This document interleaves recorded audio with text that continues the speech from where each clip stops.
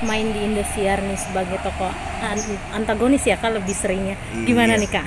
ya jadi peran antagonis sih asik juga ya soalnya kan kita bisa keluarin emosi yang di kehidupan asli tuh kita nggak mungkin lah begitu jadi ya ya seru lah Banyak tantangan juga nggak sih kak di pintu berkah kamu memerankan tokoh yang selalu jahat gitu?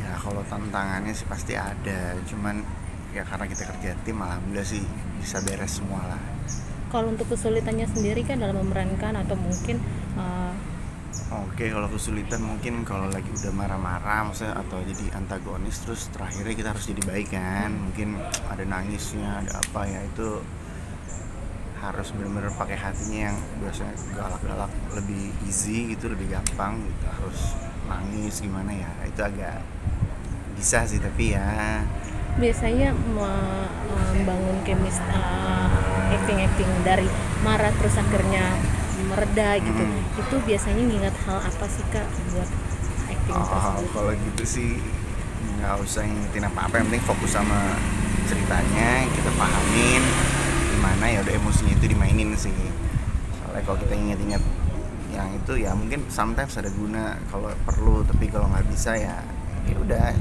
jalanin aja yang ada di cerita lebih enak kita masukin lah ke peran itu Kasihan kan eh, di pintu berkah ini juga banyak kan filmnya sinetron seriesnya ini banyak digandrungi emak-emak berdaster. Oh, iya. Nah, gimana tanggapannya? Banyak juga yang mama ibaratnya "Ih, ganteng banget sih. ya kalau emang itu kita bikin syuting buat mama yang nonton ya jadi ya udahlah terserah lah mama yang senang bilang ganteng kalau yang enggak paling ini si yang jahat nih yang jahat ya itu karena lucu aja sih ya kita ketawa-tawa aja lah Sempet dapat hujatan juga nggak sih karena peran?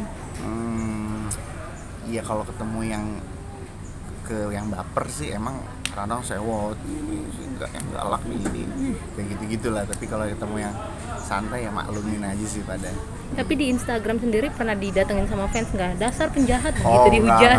Kalau kayak gitu sih enggak. gitu. Paling lebih mau main lokasi datang aja. Pas ketemu fans sendiri kak ngelihat uh, acting yang jahat terus fans sendiri sempat nggak sih kayak coba mencubit, geram atau ngomel-ngomel juga sewot gitu. Di paling ini kalau biasanya kak jadi baik dong, jangan jahat mulu. Paling lebih kayak gitu sih. Enggak ya kesel-kesel dikit. Eh sekali baik lah, orang jadi baik aja, jangan jahat mulu. Mana sih ganteng-ganteng kalau jahat kayak gitu-gitu biasa gitu sih. Tapi ngerasa gol berhasil nggak sih kak dengan memerankan tokoh jahat? Akhirnya mama banyak yang baper, ikutan geram, pengen. Uh, Kalau berhasil enggaknya sih terserah yang nonton aja lah. Yang penting sutradara bilang oke aman, yang kita juga maininnya nyaman, ya udahlah. Penting selesai sih.